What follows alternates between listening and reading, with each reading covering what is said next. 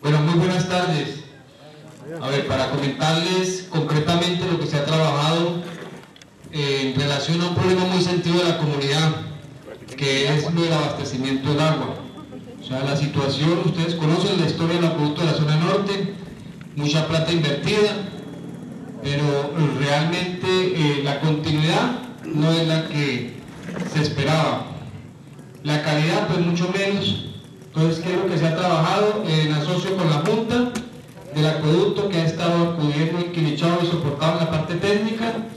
Eh, primero se invirtieron eh, cerca de 60 millones en un convenio que se firmó con el alcalde y en Quilichao para eh, surtir una petición que ha hecho la Junta de primero a cambiar 600 metros de una tubería, se amplió casi a 900 mil metros que se ejecutó el año pasado. Es que aquí dejaron muchos cuellos de botella. Hicieron la planta, hicieron el sistema, pero sin embargo las redes no están en la dimensión que deben estar. Entonces lo que se eh, ha avanzado en eso es ir eh, ampliando los sectores para que realmente se mejore la continuidad. A la Palestina no le llegaba agua, también se hizo un trabajo eh, con el ingeniero Diego Alfonso Vaca de una separación de redes y el propósito es ese, ¿no? Porque eh, mejorar la continuidad y se está trabajando en un proyecto que mencionaba el alcalde que ya tiene los recursos, son cerca de 490 millones de pesos, con el plan departamental de aguas donde Santander pone los recursos, ya los estudios están y se espera empezar a ejecutarse este año. ¿Ese proyecto cómo va?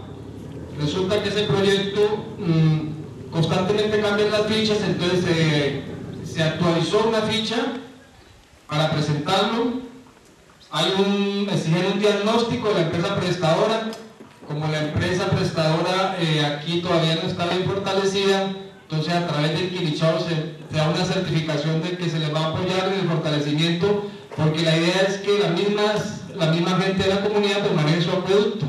Es un requisito que se completó diciendo que Quilichao los va a fortalecer a ellos y les va a dar la asistencia técnica. Y falta una declaración de la posesión de un bien. Se adelantó primero con los dueños de la hacienda de que siempre han estado muy dispuestos, lo de los permisos para ejecutar la obra y las servidumbres necesarias.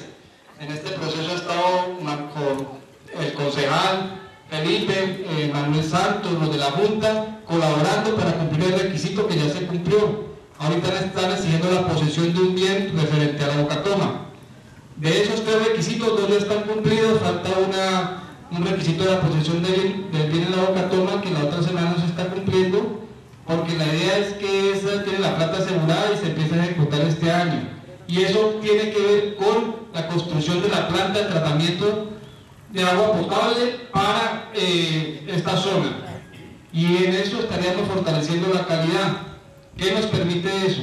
Pues nos permite que precisamente para que todo el mundo tenga continuidad y calidad, se empieza a fortalecer con algo que la gente tiene que empezar a entender, que, el agua hay que controlarla, que el agua hay que medirla, que tener una junta que administre aquí de una manera eficiente y técnica los servicios para que todos tengan su agua normal.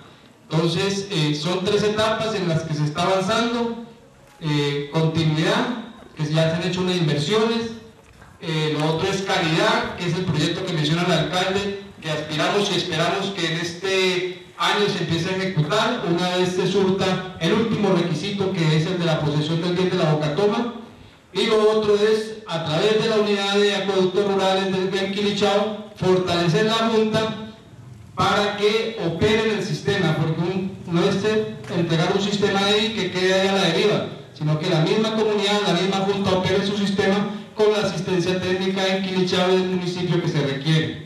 Eh, eso es básicamente lo que se ha venido trabajando eh, en esta zona y lo que se aspira una vez eh, se culmine lo que quedó en el plan propuesto por el alcalde, de que podamos, terminados los cuatro años, decirnos, desarrollar que digan que sí señor, mejoró el servicio, mejoró la continuidad, garantizamos calidad y nos fortalecieron la Junta. Muchas gracias.